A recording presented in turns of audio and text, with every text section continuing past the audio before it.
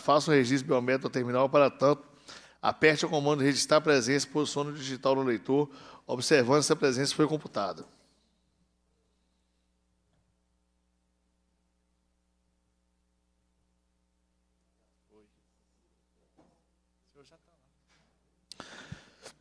A presença nos termos do parágrafo 1 do artigo 132 do Regimento Interno dispensa a leitura da ata da reunião anterior, considerando aprovada e solicita a sua subscrição. Essa reunião se destina a apreciar a matéria constante na pauta e receber, discutir as votações e proposições da comissão. A presidência informa o recebimento do e-mail do senhor Wander César Ferreira, recebido via Fala com a Comissão, Fala, Fala com as Comissões SIG 110421, em que reclama sobre o aumento dos preços da gasolina aos postos de Betim, Contagem e Belo Horizonte. A presidência designa ao deputado Eduardo Azevedo como relator do projeto de número é, 2253-2020.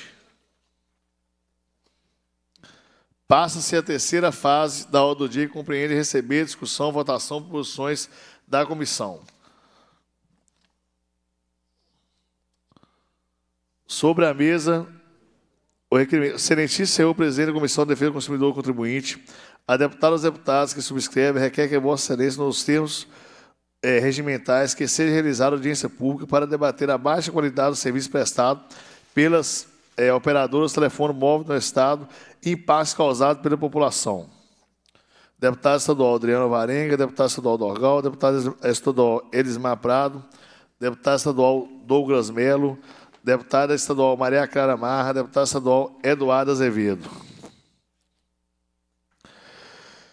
Excelentíssimo senhor presidente da Comissão de Defesa do Consumidor Contribuinte, o deputado subscreve requer que Vossa Excelência, nos termos do artigo 103 do terceiro do A do Regimento Interno, seja encaminhada à Associação Mineira de Supermercado, AMIX, pedido de providência para que se oriente os mercados de todo o Estado de Minas Gerais a limitar a venda de arroz com o objetivo de evitar a falta de produtos nas prateleiras. Tendo em vista as enchentes que têm ocorrido no Rio Grande do Sul, Estado é responsável por 70% da produção nacional desse alimento crucial para os brasileiros. Deputado estadual Charles Santos.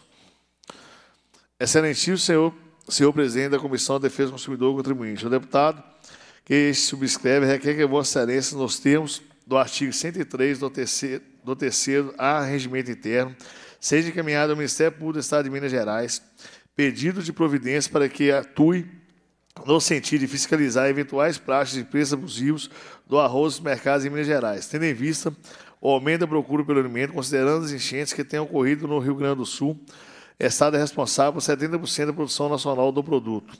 Deputado estadual Charles Santos. Em votação, o requerimento. As deputadas e os deputados que aprovam permaneçam como se encontram. Aprovado o requerimento. Passo a presidência para o deputado estadual Douglas Melo. Boa tarde, senhor presidente. Boa tarde, deputado Elismar Prado. Deputado que subscreve, requer Vossa Excelência, nos termos do artigo 100 do regimento interno seja realizada audiência pública para debater a reforma tributária e a tributação do consumo objeto da emenda à Constituição número 132/2023, seus reflexos para o Estado e para os contribuintes mineiros, especialmente para os consumidores finais, bem como para debater a regulamentação da reforma tributária em âmbito federal e estadual, Sala das Comissões, 23 de abril, deputado Adriano Alvarenga. Em votação, os deputados que aprovam permaneçam como se encontra. Aprovado o requerimento. Devolvo a presidência ao nosso presidente Adriano Alvarenga. Obrigado, deputado estadual Douglas Melo. Hoje votamos o requerimento que é de grande importância né, para todos nós, mineiros e mineiras. Temos um problema grave, que é com a operadora telefonia Vivo. Né, a Vivo hoje pode ser considerada uma morta né, em todo o estado de Minas Gerais é uma falta de comprometimento, é uma falta de atenção com todos nós, consumidores e contribuintes. Eu sou, nasci e moro até hoje no nosso município de Rio Casca. Telefonia Vivo lá está uma vergonha. Venho trabalhar aqui na Assembleia Legislativa em Belo Horizonte. A telefonia Vivo, uma vergonha. Todo canto do estado de Minas Gerais que tem uma operadora Vivo em pleno funcionamento, todas as pessoas reclamam toda hora que está um verdadeiro descaso. A operadora Vivo está confundindo o seu dever, o seu papel de atender todos nós, consumidores e contribuintes, com excelência. Ela depois ela está deixando a conta nossa no Wi-Fi. Né? Para você usar o seu telefone de uma forma segura e que, e que não vai cair nem sua internet e nem a linha telefônica, você tem que estar conectado no Wi-Fi. Então, eu queria que a Vivo nos respondesse.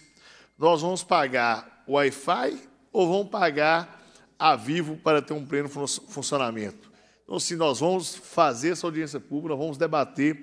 Eu confio muito na experiência, na dedicação, tanto do deputado Douglas Melo, do Elismar, da Maria Clara, do Eduardo Azevedo, o deputado Orgão Andrade também, que entrou junto com a gente através desse requerimento, e vão chamar vivo aqui na Assembleia Legislativa, para que ela preste esclarecimento e, o mais importante, para que ela dê realmente a atenção que todos nós merecemos. Sabemos da qualidade do serviço há anos atrás, sabemos da competência dessa operadora há anos atrás, mas, infelizmente, hoje está um verdadeiro descaso, está uma verdadeira vergonha. E eu repito, nós vamos usar Wi-Fi ou vamos continuar com a operadora Vivo? Porque a operadora Vivo está usufruindo do nosso Wi-Fi para ter, com certeza, uma internet de boa qualidade, uma ligação que não vai cair de fato. Porque quando é só a Vivo, nós não temos nem internet e nem forma de falar com as pessoas. Então, como presidente dessa comissão, e juntamente com todos nós, deputados e deputadas, nós vamos cobrar com muita firmeza, com muita dedicação, que esse problema seja solucionado muito rápido. É problema de antena? Está trocando as antenas? Está fazendo o quê? Está dando manutenção? Nós temos que dar uma resposta. Todos nós aqui dessa comissão somos servidores públicos. Quem que paga o nosso salário é o povo. E nós temos que dar essa resposta para a população. Nós temos que, com certeza, de fato, resolver esse problema nós temos mais de 21 milhões de mineiros e mineiras que são consumidores e contribuintes, onde nós devemos todo o nosso respeito, a nossa seriedade e a nossa dedicação. Chega, basta desse descaso da Vivo. A Vivo hoje pode ser considerada uma morta, uma morta, uma falida e, com certeza, uma desrespeitosa com todos nós, mineiros e mineiras. Muito obrigado a todos os colegas que votaram a favor desse requerimento. Vamos juntos fazer essa audiência pública o mais rápido possível que a população, aonde que a gente chega, primeira coisa que pergunta, o que vamos fazer com essa Vivo, que realmente está morta no nosso estado de Minas Gerais. Obrigado a todos. Senhor presidente, primeiro parabenizá-lo, viu, pelo requerimento. E essa questão não só da operadora Vivo, mas de outras, e talvez a Vivo até mais a reclamação pelo fato dela, teoricamente, ter a maior cobertura do Estado de Minas Gerais, isso só aumenta. E o senhor está certíssimo, né? eu faço aqui das suas palavras as minhas, e acho que nós temos um grave problema que precisa também ser debatido aqui nessa comissão, para que servem as agências reguladoras. Porque o que nós vemos no Brasil são várias agências reguladoras que não regulam nada a não ser o interesse de poucos. Quantas das vezes nós aqui nessa comissão já fizemos reclamações junto à NTT, reclamando das estradas que têm algum tipo de concessão e não recebem a manutenção adequada. Quantas vezes a ANEEL já poderia ter autuado a CEMIG, exigido que fosse cumprido aquilo que a CEMIG se propõe e a ANEEL não faz nada. A Infraer e tantas outras. E no caso das operadoras de celular, o que eu vejo é simplesmente a Anatel simplesmente paralisada. Porque nós aqui, enquanto defesa do consumidor, nós vamos levantar essas questões, vamos chamar para o debate, mas certo é que na hora de fazer com que o direito do consumidor seja cumprido, nós vamos esbarrar numa legislação que diz que as operadoras de celular elas não participam de concessão pública. Elas, na verdade, se propõem a oferecer o sinal em determinado local. E quando a gente faz algum tipo de reclamação, o que elas alegam? Não, mas nós fornecemos o sinal nesse local para 3 mil pessoas, aumentou a população, passou para 4 mil, E às vezes ela demonstra não ter nenhum interesse de aumentar ali as suas antenas, aumentar a carga, porque ela considera que para 3 mil o trabalho dela né, já foi realizado.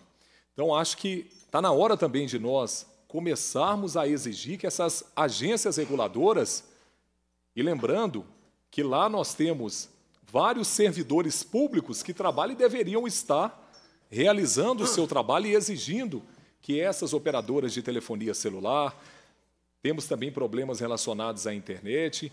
Então, por aí vai. Está na hora da gente chamar essas agências reguladoras. Temos, por exemplo, a Arsai, que é do governo do Estado. Eu duvido que algum deputado que teve algum sucesso na Arsai quando aconteceu um problema na Copasa. O deputado Eduardo está aqui acabou de confirmar. Se você for na Arsai e fizer uma reclamação dizendo que a Copasa não presta um serviço de qualidade, ah, vamos responder, vamos mandar uma equipe e nada é feito. E para mim, a agência reguladora, ela é uma ferramenta importantíssima, porque se ela constatar que existe uma irregularidade na prestação de serviço, nós ganhamos uma ferramenta para exigir que os direitos sejam cumpridos e que o Ministério Público, inclusive, entre. Mas hoje a grande verdade é, e em outras ocasiões, deputado Elismar vai se lembrar, quantas vezes, deputado, nós já convocamos aqui Vivo e outras operadoras e elas vêm, e o senhor está certo de chamar a audiência pública mais uma vez. Porque é a forma também que nós temos, quem sabe, de convocar aqui ou de convidar, porque às vezes na convocação nós não teremos poder legal, mas convidar aqui alguém da agência reguladora e perguntar para a agência reguladora o que, que você está fazendo. Para mim foi muito emblemático uma situação que aconteceu aqui. Eu, deputado Cleitinho, na época, deputado Elismar Prado, e nós convocamos aqui a empresa Via 040, responsável na época pelo trecho entre Juiz de Fora e Brasília. E junto veio a NTT. E começamos aqui na audiência a saber por que, na audiência pública, por que a BR-040 não recebia as intervenções necessárias. Quando um membro da NTT levanta o dedo e diz: Nós estamos aqui para comemorar, porque já conseguimos duplicar tantos quilômetros de estrada.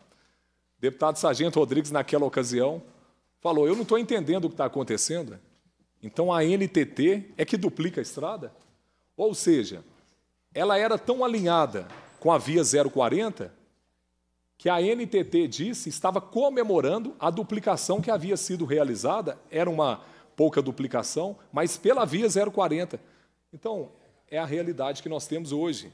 Por quê? Uma NTT, que é uma agência reguladora, ela é tão alinhada, às vezes, com as concessionárias que, na hora de exigir o direito, não consegue se exigir, porque existe uma parceria.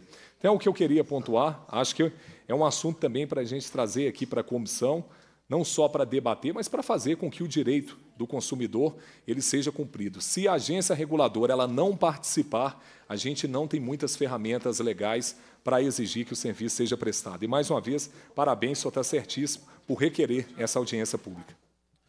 Obrigado, deputado estadual Douglas Melo. A palavra está aberta. Bom, é, deputado Adriano Alvarenga, tenho que parabenizar o senhor por, pelo requerimento dessa audiência pública. É, o senhor está sempre bem atento às questões que ferem diretamente o consumidor no Estado de Minas Gerais. E vou complementar aqui o que o deputado Douglas Melo disse, se hoje o serviço não traz qualidade, é porque não existe fiscalização. Parece que realmente nos leva a entender que as agências reguladoras estão deixando as operadoras, seja de telefonia móvel, de telefonia fixa, internet, água, é, CEMIG, fazer da forma como elas querem. Porque você falou tudo, deputado Douglas. É, eu não concordo, eu já falei isso, não concordo. A Copasa ela é um órgão do Estado e a agência que regula a Copasa também é vinculada ao Estado. Então, há necessidade sim, de fiscalização, porque o que me chama a atenção é que, em primeiro ponto, o serviço não é barato. O serviço que o consumidor paga hoje, seja por telefonia, por energia, por água ou por gás, é caro. No Brasil, esse serviço é caro, é um serviço sucateado e não traz qualidade. E interessante que quando o consumidor atrasa o pagamento da sua fatura de fornecimento de qualquer uma dessas concessionárias, ele é penalizado com multa e se incorrer ainda um atraso maior, o serviço é cortado. Então, tem que cobrar mesmo, porque eles ganham, ganham bem para isso, é muito bem pago, pagam um valor alto ao consumidor para ter em contrapartida um péssimo serviço que não atende à sua necessidade. Eu gostei do termo que o deputado Adriano Alvarenga disse, que a Vivo hoje ela até é morta. Ela realmente está morta e enterrada, porque é de assim, cara, é de rir da cara do consumidor. Nem nos grandes centros, quando eu falo grandes centros, onde tem uma cobertura celular, que seja desejável, aqui na porta da Assembleia, quando você sai do Wi-Fi parlamentares e vai atravessar a rua para você pegar o outro edifício, e às vezes você sai do Wi-Fi e vai para os dados móveis, não pega. Então, quer dizer, que é um local movimentado, teria que ter uma cobertura boa, porque antigamente a tendência era que não pegava na zona rural, que é difícil alcance, e quando você sai do perímetro urbano dentro das rodovias. Nem aqui na região centro-sul de Belo Horizonte, ou seja, de qualquer estado, desculpe, qualquer cidade do estado, você não consegue conexão. E hoje é praticamente impossível, gente, uma pessoa ficar offline. Porque tudo que você resolve hoje é pelo telefone, seja pelas redes sociais, pelo WhatsApp. Então, é assim, é zombar da cara do, do, do, do contribuinte, zombar da cara do, do, do, consumidor, trazer um serviço da qualidade como a Vivo presta. A gente tem que falar só da Vivo, não. A Claro, hoje já não existe mais a Oi, a TIM também. Se pegar as três, que eu acho que são as maiores hoje do Brasil, a TIM, a Vivo e a Claro, colocar ali no pacote ali, misturar, não salva uma. Então tem que cobrar mesmo, porque a corda sempre arrebenta pelo lado mais fraco, e essa é a nossa função, deputado ser a voz do consumidor que não consegue alcançar essas telefonias. E hoje o atendimento é completamente digitalizado. Em tempos atrás, você conseguia falar com o atendente, mas hoje, para você falar com o atendente de uma operadora para você tentar fazer uma reclamação, é um custo. É tudo ali robotizado, então o consumidor às vezes nem consegue. Aquela pessoa que às vezes tem uma certa dificuldade em dominar esse equipamento eletrônico, em fazer uma ligação, ela nem consegue reclamar. Então a nossa é, a nossa função aqui é ser essa voz. Então, parabéns por essa audiência pública, porque a gente não pode deixar que essas operadoras de telefonia, operadoras, seja de qual for, elas venham a prestar um serviço assim de péssima qualidade para o contribuinte mineiro. Fico muito feliz em participar dessa comissão de defesa do consumidor e contribuinte e parabenizar o senhor por fazer esse requerimento dessa audiência pública para poder dar voz ao cidadão de Minas. Obrigado. Obrigado, deputado Eduardo Azevedo, e parabenizo você pelo seu posicionamento. Com a palavra, o deputado estadual Elismar Prado. Presidente, na mesma direção dos deputados Douglas Melo e Eduardo Azevedo, também deixo aqui meu apoiamento incondicional a essa proposição. Assinei também o requerimento para a realização dessa audiência pública recordo aqui é, que em 2013 é, a Assembleia é, instalou a CPI da telefonia, aqui no âmbito da Assembleia. Em 2013, eu fui um dos membros. Então, de lá para cá, o que a gente tem percebido é cada vez mais abusos. Né? Naquela época, fizemos uma grande discussão acerca aí, é, do péssimo serviço mesmo das empresas de telefonia. Né? Isso persiste até hoje. Por isso, a gente precisa também persistir no debate para buscar cada vez mais apoiamento, para exigir respeito aos consumidores. Né? Nós sabemos que não só a Vivo, mas como as outras, mas nesse requerimento vamos discutir de maneira mais focada o serviço da Vivo, é a queda frequente de sinal, né? um péssimo, péssimo atendimento aos consumidores, né, o serviço de atendimento ao consumidor. Enfim, é, Eduardo Azevedo tocou num assunto importante, que as agências reguladoras que fazem a fiscalização de, dos serviços, né? no caso da telefonia, Anatel, no caso da energia elétrica, a ANEEL. E eu sempre digo, e repito, insisto, que nós precisamos de um novo marco regulatório das agências reguladoras no Brasil porque elas não têm autonomia, elas não fazem a defesa do, do consumidor, Né? Existe muito tráfico de influência, sim. Não são agências de Estado e deveriam ser agências de Estado. Muitas vezes são mais agências de governo ou simplesmente é, que atendem pura e simplesmente o interesse do mercado. Isso em todos os governos, não só no atual, em todos os anteriores, foi sempre assim. Existe uma captura muito grande é, das agências reguladoras por parte do mercado. Isso é um problema. Precisamos de fazer defesa é, dos consumidores. Né? Por isso, precisamos do apoio de todos. Essa comissão vai insistir, vai cobrar, vai fiscalizar. Precisamos do apoio é, do PROCON estadual, do PROCON Assembleia, precisamos do apoio do governador do Estado também. Estou lembrando aqui de um assunto importante, deputado Douglas Mello, que diz respeito aos abusos na cobrança dos pedágios e o péssimo serviço das concessionárias é, que administram as rodovias no Estado. Lá na minha região do Triângulo, por exemplo, pedágios a 12,70, conseguimos uma liminar com o Ministério Público, foi impedido a cobrança, porque acostamento no meio do mato, sem duplicação, buraco na pista, e ainda tiveram a coragem de aumentar o pedágio para 12,70.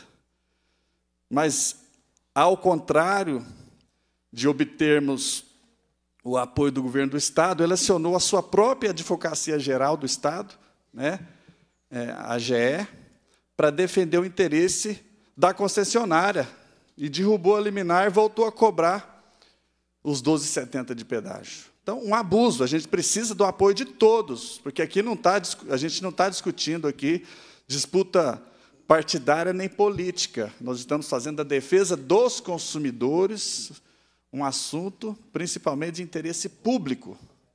Precisamos do apoio de todos. E no que diz respeito ao serviço das telefonias, precisamos da atuação do governo do Estado também, em defesa dos nossos consumidores. E aproveito, já terminando, presidente, para reclamar, é, lamento muito que nós aprovamos aqui nessa casa, por exemplo, um projeto de minha autoria para acabar com os abusos é, das empresas de telemarketing, né, que enche a paciência de todo mundo, dia e noite, final de semana, qualquer horário, um grande abuso com as ligações que as pessoas recebem, né? Dos mais diversos números. Eu aprovei um projeto aqui nessa casa para colocar um fim a esse abuso.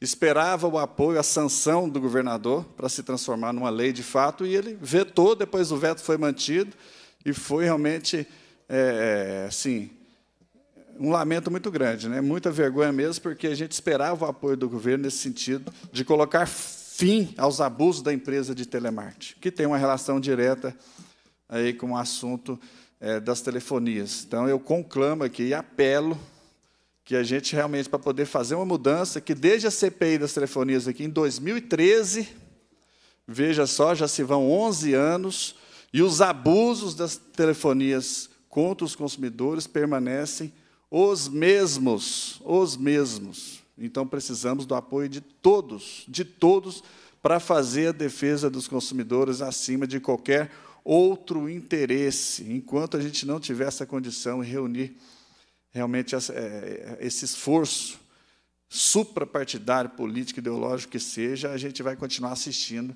esse abuso aí da, é, contra os consumidores e contribuintes de Minas Gerais. Mas quero prestar aqui todo o meu apoio nessa audiência. Nós vamos insistir nas cobranças aí e solicitando melhorias no serviço de telefonia em Minas Gerais. Obrigado, presidente. Parabéns, deputado Elismar Prado. Passa a palavra agora para o deputado estadual Dorgão Andrada. Boa tarde a todos, a todas que nos assistem, que nos acompanham.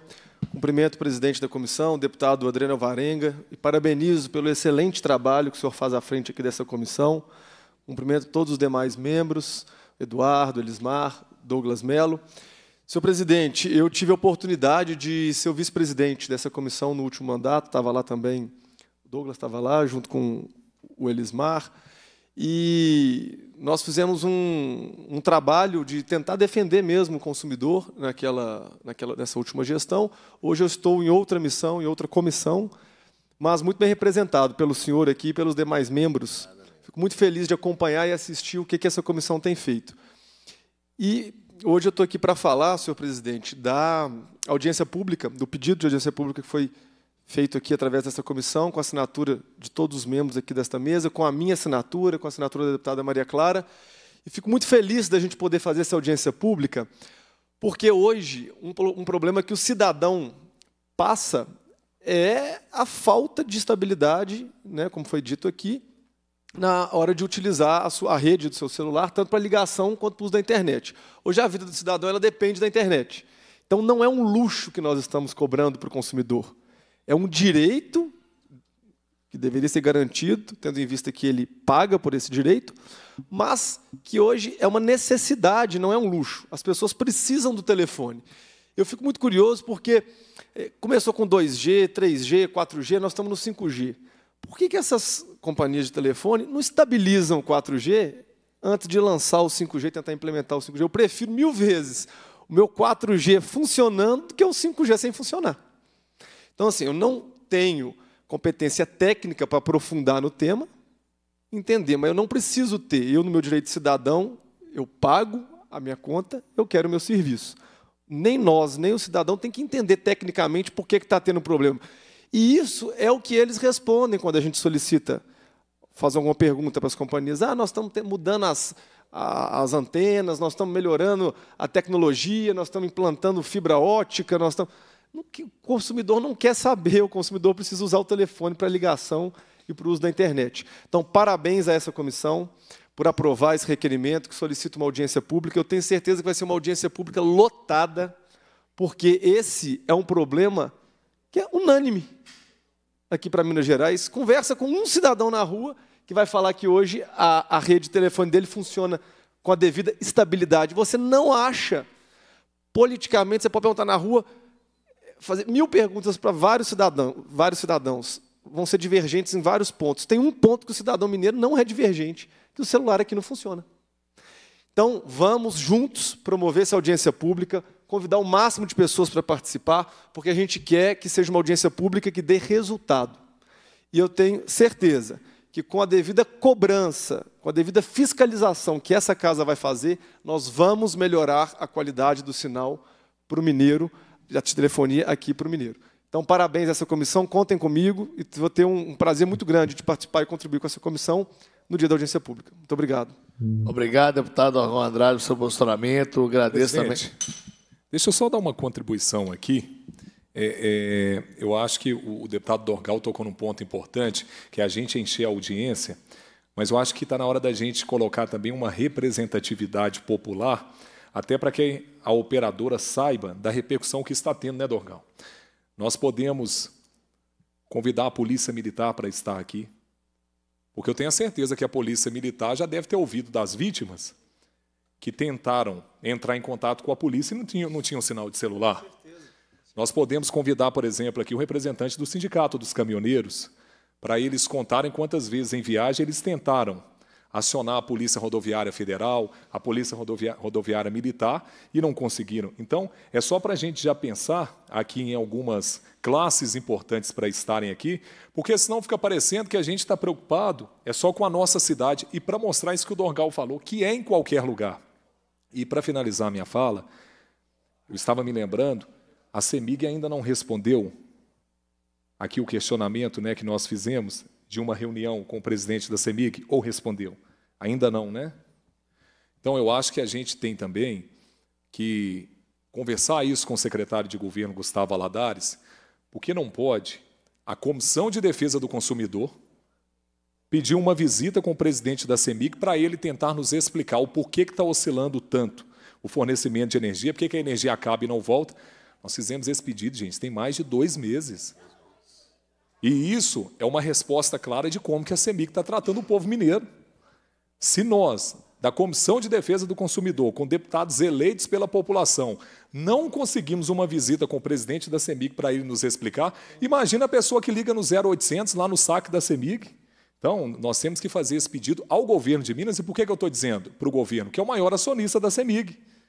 Para que o governo possa nos ajudar, porque claramente a CEMIG está pouco se importando para o que a gente debate aqui. Eu acho isso uma falta de respeito e, sinceramente, isso me dá uma sensação de desprestígio Nós pedimos uma visita da Comissão de Defesa do Consumidor.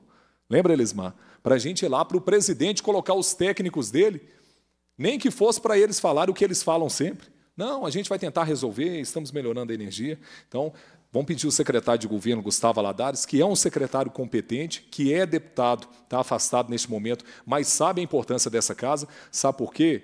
Senão a gente começa a perder o valor.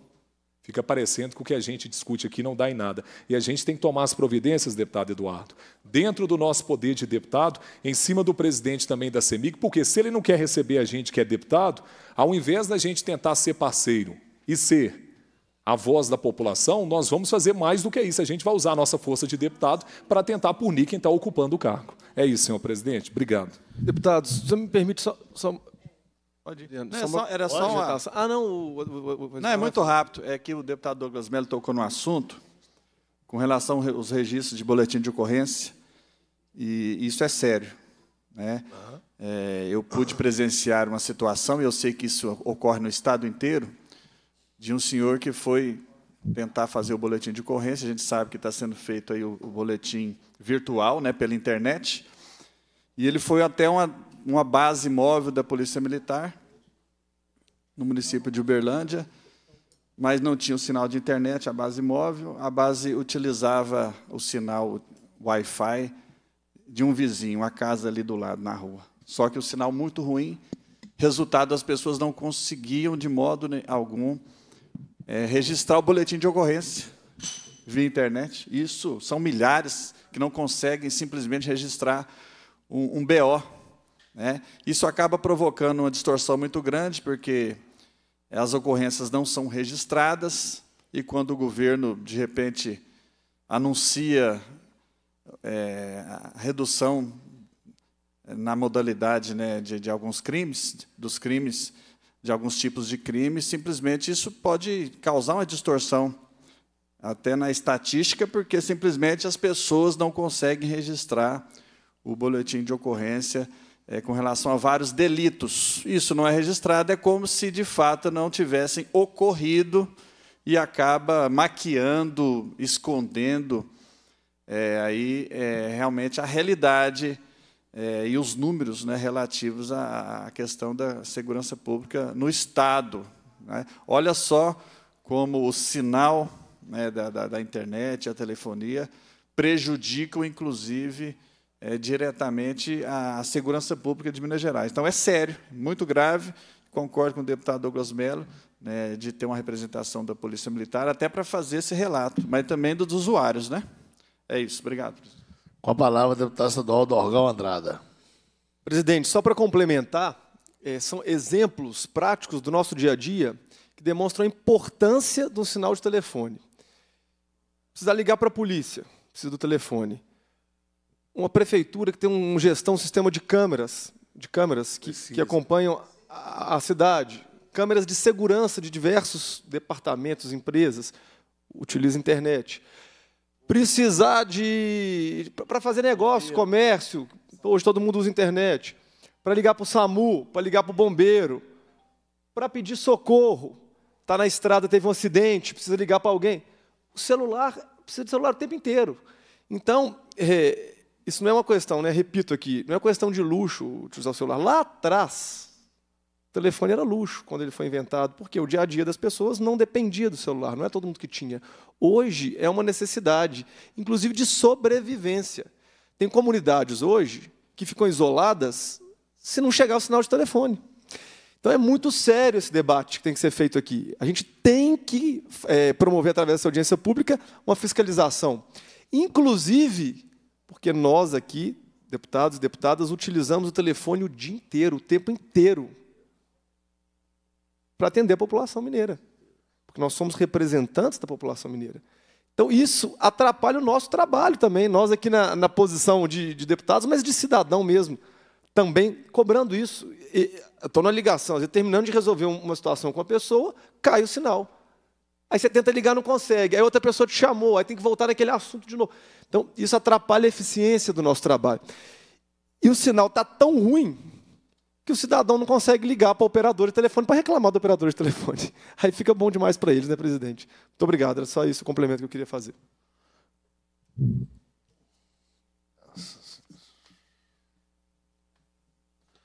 Eu vou dar uma sugestão aqui para todos nós, assim que acabar essa reunião, a gente poderia nos reunirmos, bem já definir a questão da data Sim. e os convidados, porque isso é uma coisa que a gente tem que trabalhar de uma forma imediata.